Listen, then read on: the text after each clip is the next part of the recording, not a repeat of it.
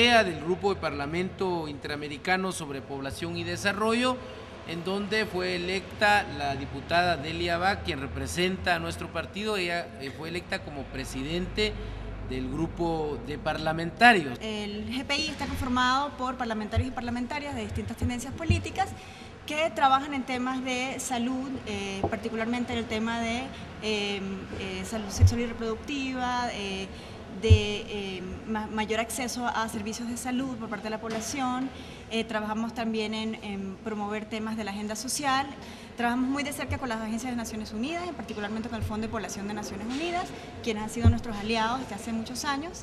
La estructura de la organización está conformada por parlamentarios y parlamentarias eh, de toda la región de las Américas, incluyendo a Canadá.